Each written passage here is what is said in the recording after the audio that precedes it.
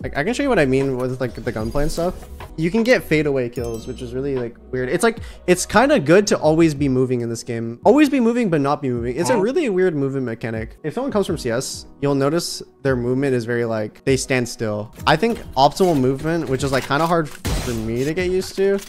Like okay, this is like a CS player. A CS player will like move like this, like that. But like the way that Valorant movement is, if you're if you're spraying instead of like crouch spraying, you go like this, you swing, and then you you spray as you like run away. It's like the most optimal thing.